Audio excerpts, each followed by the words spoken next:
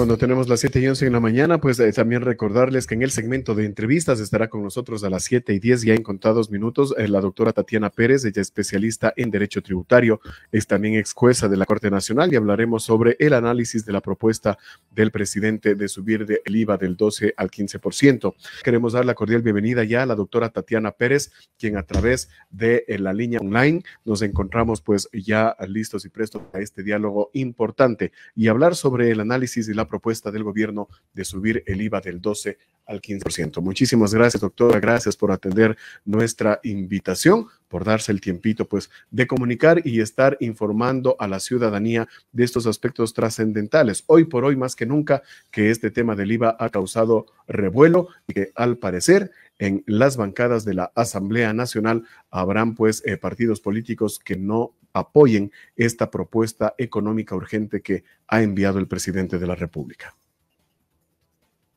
Muy buenos días con todos, muy buenos días a los radioescuchas de Radio Ritmo en especial. También quiero saludar a Mauricio, a Paulina, un muy buen día, esperando pues eh, justamente cumplir una buena jornada hoy. Eh, estoy presta a cualquier inquietud, Mauricio, muchas gracias.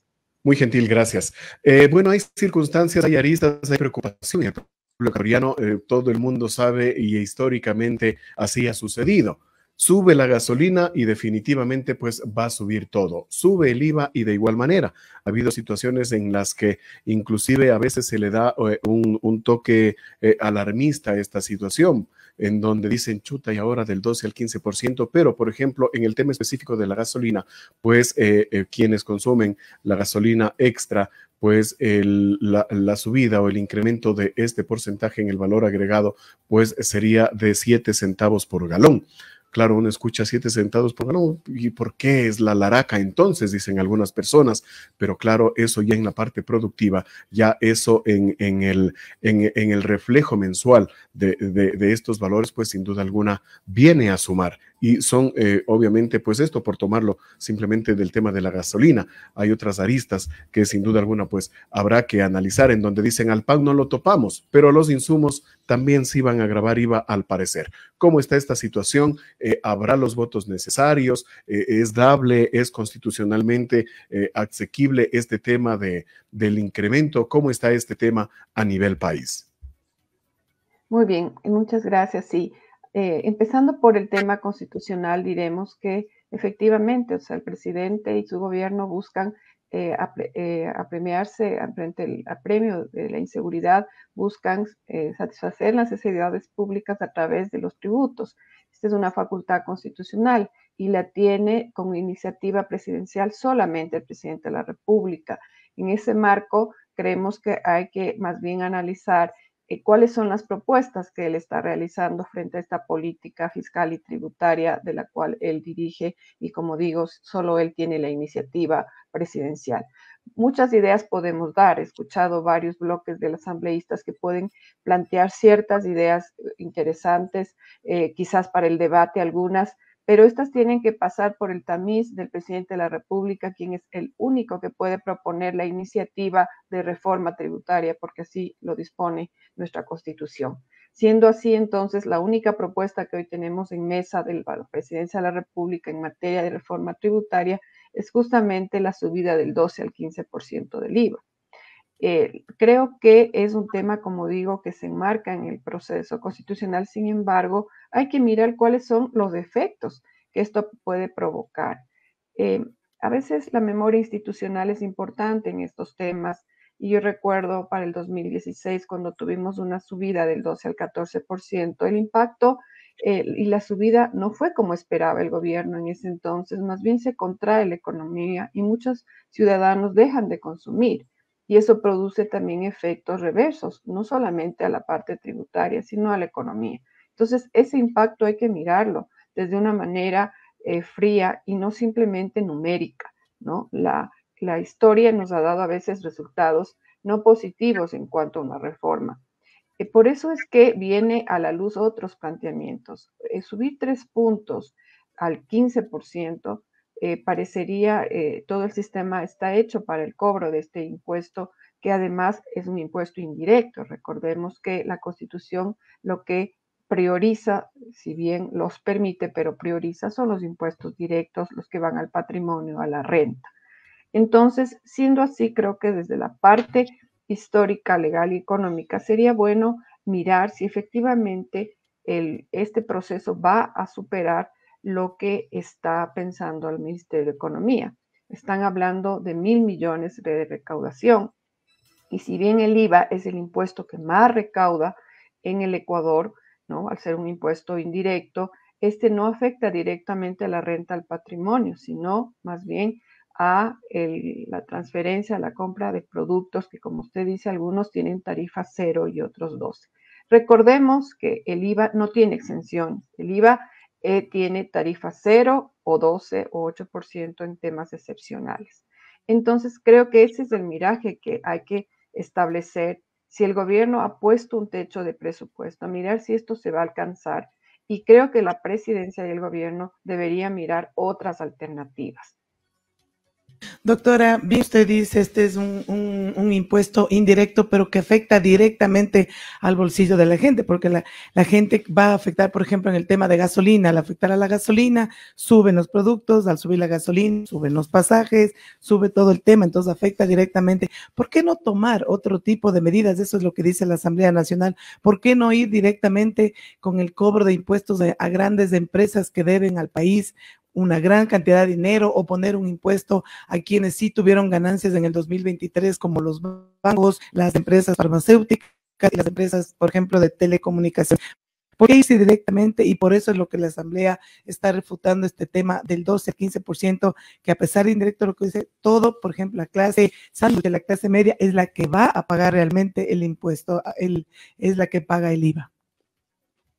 Así es, efectivamente, esto no va a resultar una recaudación inmediata como se está suponiendo y eso va a afectar definitivamente al presupuesto y aún más, como usted bien indica, va a afectar más bien al sector económico y eh, puede producir incluso una recesión en ciertos aspectos, ¿no? Porque la gente no necesariamente deja de consumir, pero sí ciertos bienes que consumía, ¿no? Entonces, eh, eh, sí hay que mirarlo desde la economía y la parte legal ese análisis. Sí, aquí hay varias alternativas y gracias por la oportunidad. Creo que en, sí el IVA puede manejarse no tan em, discrecionalmente de esa manera, ¿no? La idea de que tenga una tarifa del 0 al, al, al 12% es justamente para tener una fluctuación dependiendo de la economía. Y siendo que estamos en crisis, sería difícil afectarlo cuando más bien se pensaría que podría ir a una baja. ¿Cómo suplir estas deficiencias? Pues ahí tenemos, ¿no? Una alternativa que, que, se ha llamado mucho la atención. Siempre hemos manejado una contribución única temporal, ¿no? La última que se dio en el 2023 podría haber una para el 2024, 25, que son periódicas, eh, que afectan estrictamente aquellas eh, áreas en donde haya habido eh, justamente una utilidad y la crisis no haya sido tan fuerte. ¿No? Y eso es de recaudación igual inmediata. Entonces, eh, ahí tenemos ya formas que se han establecido. De hecho, el gobierno de Lazo estableció una contribución única temporal a las empresas cuyos activos tenían y, superiores a un millón de dólares. Entonces, hay esa contribución que puede ser de todos. Eh, y esa contribución tendría que venir no solo de las personas naturales de quienes estamos adquiriendo los productos a través del IVA, sino también a, eh, las sociedades con mayor porcentil de utilidad. Además, el ISD, yo creo que hay que reflexionar sobre este impuesto, ¿no? Cómo está afectando, es un impuesto también que hoy por hoy ya debía estar en el 2.5% porque así fue establecido. Eh, debería mirarse de nuevo este, mirar si efectivamente va a derogarse este tributo, porque incluso se pensaba en algún momento desaparecerlo y derogarlo, cuando hay una recaudación frente a la salida de capitales, ¿no? Hablar de un porcentaje y mantenerlo al 2, 5, 3%, creo que es razonable, ¿no? No, no, no sé si hablar de un 5, pero sí hablar de un punto adicional que sería un 3.5 de lo que está el tributo hasta el 2023 y sostenerlo en este año en virtud de las eh, formas que tienen, ¿no? Además, eh, sí es cierto que en el tema de la gasolina, ese es un tema delicado, pero no, no, no creo que deberíamos hablar de eliminar los subsidios, pero sí de focalizarlos, de establecer herramientas, que si bien esos lo que va a provocar es un, más que un tema de recaudación, un tema de formalización de la economía y, de hacer sentir al sector formal de este país que muchas veces se siente inseguro, pues que existe controles en el Estado. Entonces, porque la tributación no es solamente recaudación, la tributación también es establecer un sistema de riesgo en el país para que el ciudadano sienta el control para los que no cumplen la ley y que sienta también que están siendo protegidos los que sí cumplen la norma. Y eh, en, ese aspecto creo que la seguridad no solamente viene del campo del apoyo de las Fuerzas Armadas, que hacen un papel importante. La seguridad también viene en la seguridad jurídica, en sentir que los controles y procesos también sean coordinados con otras entidades públicas como son los órganos de control. Este tema del IVA, eh, eh, sí, eh, siempre va a ser un, tema neurálgico, un tema que inclusive políticamente puede estarle costando puntos a la baja en cuanto a la credibilidad y la aceptación del presidente. Pero, y es que estos riesgos hay que tomarlos, sin duda alguna, cuando ya se está prácticamente en el sillón de Carondelet y hay que tomar las decisiones. Hay otra alternativa, de pronto, estimada doctora, en la que no se pueda afectar o no se, eh, eh, precisamente como decía Pauli, no se afecte a la clase media y baja, que es prácticamente los que terminamos siendo afectados directamente por este incremento. ¿Qué otra alternativa eh, podría tomar el presidente en el caso de que en la Asamblea Nacional no se dé paso y no se apruebe a este incremento? Frente a la situación, yo creo que el presidente, recuerden que si se reformula una ley y es negada totalmente por la Asamblea, tendrá que ser vista luego de un año. El presidente debería retirar esta propuesta inmediatamente de forma urgente y hacer un planteamiento mucho más consensuado, en donde eh, eh, hablar de tres puntos del IVA en el momento en que se encuentra el país es demasiado. Eh, si había una propuesta de subida siempre que se habla de una propuesta, se habla de un, post, de un, punto. Un punto ya es atacar todo un, esquema de productos, de muchos de primera necesidad o de consumo permanente, ¿no? La telefonía, etcétera. Entonces, estamos frente a un sistema que deberíamos repensarlo. No es fácil establecer, como bien indico, en el 2016 se elevó dos puntos en el IVA y se contrajo la economía. Se produjo un fenómeno que en la economía justamente es contradictorio.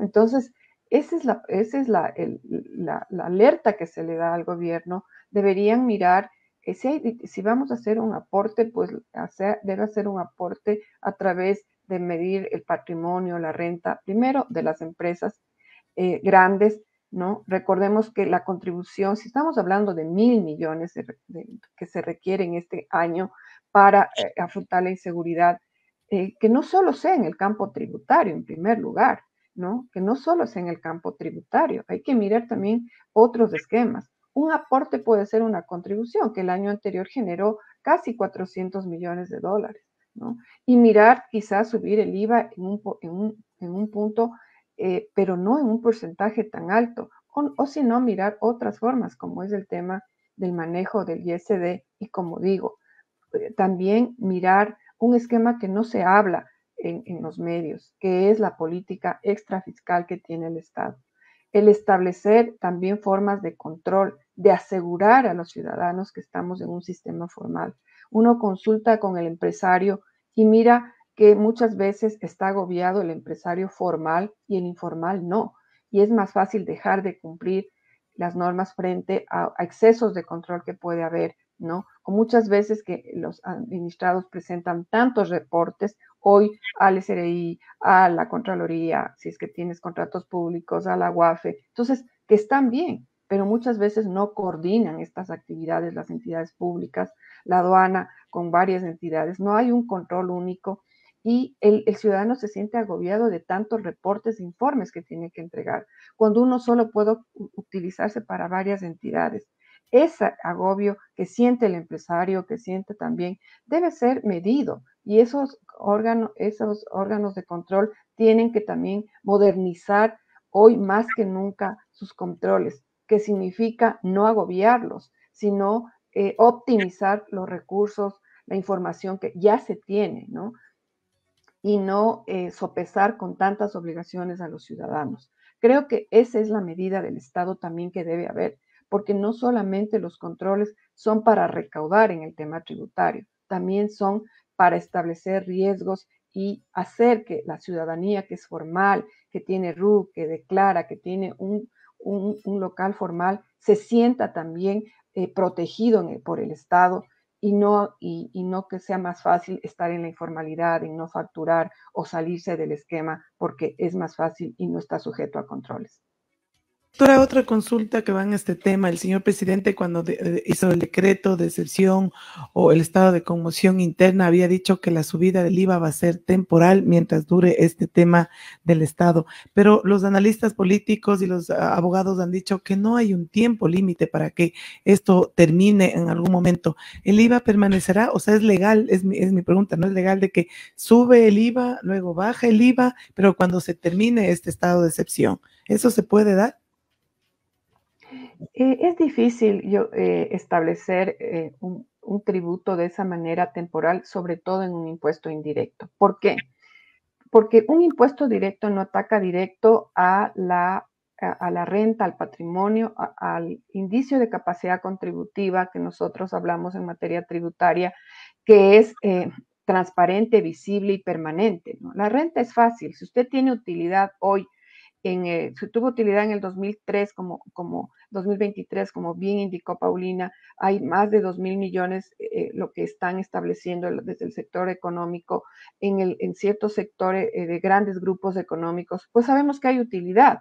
Si en el 2024 eh, hay pérdida, sabremos que no paga impuesto a la renta. O sea, es fácil en un impuesto directo entender esa lógica. Por eso es que es viable que se establezcan más bien las subidas para tributos y sobre todo si son periódicos, atacar la, imposición directa, la que es transparente, la que se mira eh, permanentemente y periódica y puede ser cambiante y, va a la realidad económica. El IVA, al ser una imposición indirecta, es, eh, no mira eso, porque usted, si usted tiene un niño y tiene que consumir y tiene una alergia y tiene que consumir un, una leche materna enlatada, importada, pues la tendrá que seguir pagando, ¿no es cierto? Usted no puede tener una opción, porque en nacionales no necesariamente existe un producto. Si usted quiere consumir un, atún importado porque se agota esto, usted independientemente que tenga una renta de 10 mil o una renta de, del salario básico unificado eh, mensual, lo, lo va a pagar y va a pagar el mismo impuesto. Entonces, si usted se da cuenta, el impuesto indirecto no mira realmente la rentabilidad utilidad o el sueldo que tenga una persona natural. Todos pagamos igual.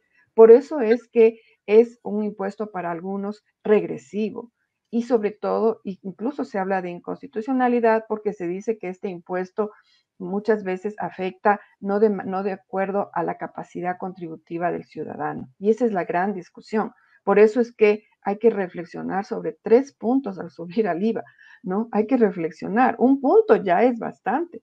Y tres puntos, atacar la economía directa de las personas de escasos recursos porque se va a todos, ¿no? Puede ser contraproducente. Ahora, en relación ya eh, en cuanto a, la pregunta puntual, ¿qué o sea, ¿cómo, ¿cómo va a afectar eso además en el precio, Paulina?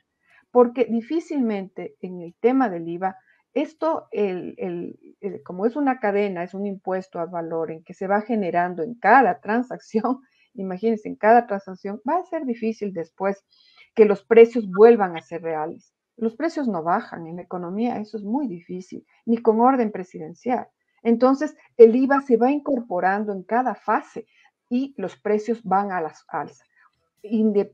Por eso es que decía que deben tomar en cuenta la recesión que va a haber, porque en, quizás en los dos primeros meses, como pasó en el 2016, hubo recaudación. En el 2016, al segundo mes bajó la recaudación, porque obviamente los precios se dispararon, porque se va incorporando el IVA al precio.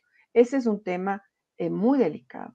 Una subida en el IVA no tiene que ser ni periódica ni, ni tan alta de la noche a la mañana.